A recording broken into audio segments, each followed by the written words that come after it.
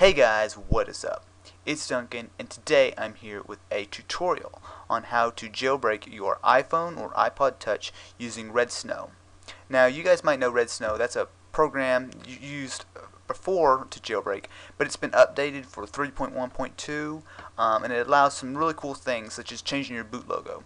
So yeah, let's get this one started.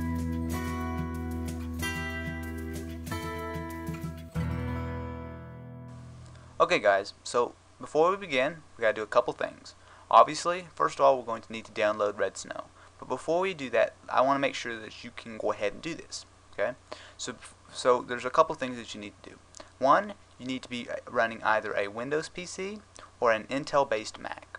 If you have a PowerPC Mac or a Linux computer, it will work, but not right now. Uh, they're still working on adding that functionality. Um, I don't know exactly when it will be ready, but it will be ready fairly soon. So if you've got one of those computers, you might need to wait a little bit. Um, and also, if you have an iPod Touch 3rd generation, Redsn0w currently does not support it. Um, and even when it does, most likely it will be tethered, so it's not really going to be that different. So if you have an iPod Touch 3rd generation, kind of out of luck for the moment. Anyway, so if you have one of the supported devices and you're on either a Windows or an Intel based Mac, you're good to go.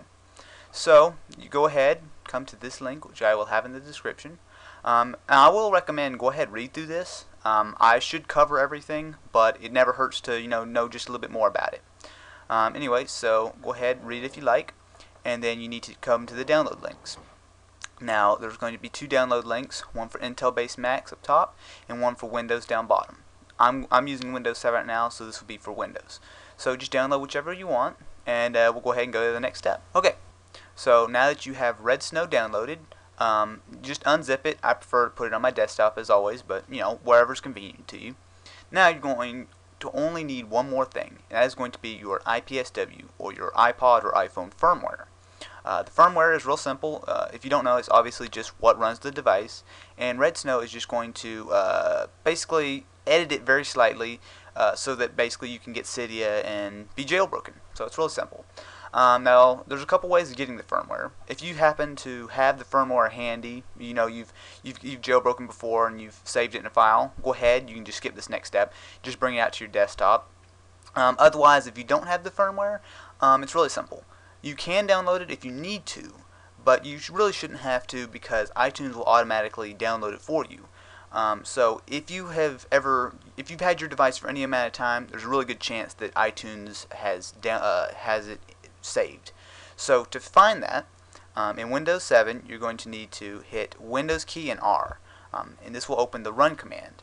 Um, and obviously, the run command is in XP and Vista as well. You just open run. It doesn't matter how you do it. Okay. So now I'm going to want you to do this. It's very simple. You do percentage sign, app data, percentage sign. That simple. Okay. So just type it in exactly like that, then hit OK. So now you will see that we have, uh, we go into the app data file. Okay, now it's real simple. You need to go, now I believe in XP it does not automatically put you here. Basically you just need to go to roaming, Apple Computer, iTunes, and then iPod software updates. Okay, so to say that again, you go into app data, roaming, Apple Computer, iTunes, and iPod software updates. Might seem a little bit complicated, but it's not a big deal just go into that file and you will see the IPSW and it would be your iPod. So in my case it's iPod Touch second generation and it's the firmware 3.1.2 okay? Very simple. So now I recommend go ahead and copying it. Leave the file in here but just copy it and go ahead and put it on your desktop. So now that you have it on your desktop we're ready to begin technically. Um, but there's a couple optional things you might want to consider before we actually begin the process and that is boot logo and recovery logo um, now, one of the big things, and probably the main reason you want to use Redsn0w, is that it supports boot logos and recovery logos, and they're custom. Okay, so before you begin, you might want to take a pause and go find one or go make one or whatever. Um, it's real simple. It just needs to be a PNG file. It's not huge, and obviously 320 by 480. So make one, find one, whatever. Obviously, you don't have to get one, but it's probably the main reason you're doing it. So as you see here, I have my two. So now you have Redsn0w downloaded, you have your IPSW, and you have your boot logo and recovery logo. You're ready to begin. Okay, so now we are ready to begin. Now there's only uh, one thing, last thing you want to do. hopefully you guys figured it out. But uh, yeah, you're going to need to remember to take your iPod Touch or iPhone and plug it into your computer via USB. Now, I've already got this done. Um, now be sure to, if iTunes pops up, make sure it's closed. Obviously, you don't want iTunes running. You want to have everything closed.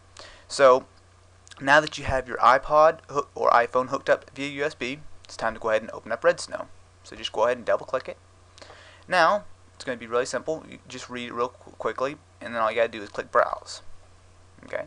Now at this point, look for the IPSW, the firmware we just got, um, wherever it is. Obviously, mine's on my desktop, so just go ahead and click it and hit Open. And just give it one second to process the firmware. Okay. So now, at this point, it will give you a little prompt if you are on an iPod Touch. And this is very important to make sure that you're not on an updated iPod Touch, such as a third generation or a newer second generation. Okay, now to check, it's very simple. As you can see here, it says, is this an MC model of the iPod Touch second generation? Okay, so at this point, all you need to do is open up your iPod or iPhone. Obviously, you're going to have an iPod. Um, hit Settings, General, and About. And on the bottom, you will see your serial number. And if it starts with MC, then you do not need to use Redsn0w because it is not supported. That's the best way to do it, and it's very simple. So, assuming that it is a older iPod Touch second generation, go ahead and you are good. So, you can go ahead and click No. Okay, so now we're in Redsn0w. It's successfully identified the IPSW.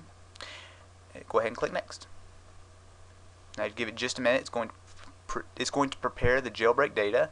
So it's going to patch up the kernel and uh, do some other things. This is really simple. Just give it a second. Now, you can go through the options. Obviously, you want Cydia. Um, you can leave the boot alone. If you if you want to customize that, you can. But really, just I would just leave it unchecked. Um, now you're going to need to go into the custom boot logo and custom recovery logo. So obviously I have both. You don't have to use this, but that's probably a good reason. So I'm going to go ahead and click my boot logo here and same with my recovery logo. Um, now also you can do the already pwned option and that is to just add a new boot logo without having to re, uh, redis, uh, redestroy, re-jailbreak your iPod or iPhone. Uh, so that's really simple. If you've already been jail, if you're already jailbroken, you just want to add a new boot logo, you can just do that, and then it'll it'll just be a lot quicker. But we're jailbreaking from scratch, so you're good. Now go ahead and click next. And now we'll go ahead and show you guys how to do it. Okay, so once you get this pop-up, it's going to be really simple. All you're going to need to do is make sure that your iPod or iPhone is connected via USB, and you're ready to begin. Okay, so if you've ever done this before, you've ever used Redsn0w or some of the older jailbreak programs, you'll know what to do. It's really simple. Just take your iPod, and then you need to hold the home and the power button, and you need to keep them held down until this message disappears. Might take you 20, 30 seconds or so. I'm going to go ahead and do it with you, okay? So one button hand up here, one down here, and you start holding it. It's really simple. Um, now you see it'll say slide to power off. Totally ignore that. And keep holding it. And in just a second it'll start to reboot. And still keep holding it until that message totally disappears. Okay, so still keep holding it. Give it just one more minute and then you will see just one second it will say connect to iTunes and you will be done. So you can see here it does take there we go. Okay. So now we're done here and now you see that it is uh, going through it and it's uploading everything. And as you see here it was that simple. Now it says downloading jailbreak data and we're basically done. Um, as you see here it will probably take three, four, five minutes, something like that, uh, to let Redsn0w finish up. But obviously, you see that it says downloading jailbreak data. Um, it will take a minute because the iPod will have to reboot several times, and iTunes will recognize it and stuff. But it's really simple. You're done. Um, so, like I said, wait four or five minutes, whatever. Um, and then basically your iPod will be totally the same as it was before. The only difference will be that you will have Cydia and you also have a new boot logo. So let me go ahead and cut here, let it finish up, and show you guys uh, the jailbroken device. Okay, so as you see here guys, uh, my custom boot logo.